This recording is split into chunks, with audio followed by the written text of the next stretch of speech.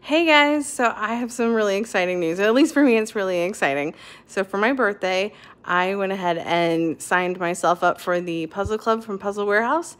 And I just got my first two puzzles in the mail and I'm really excited. So I thought I'd share it with you.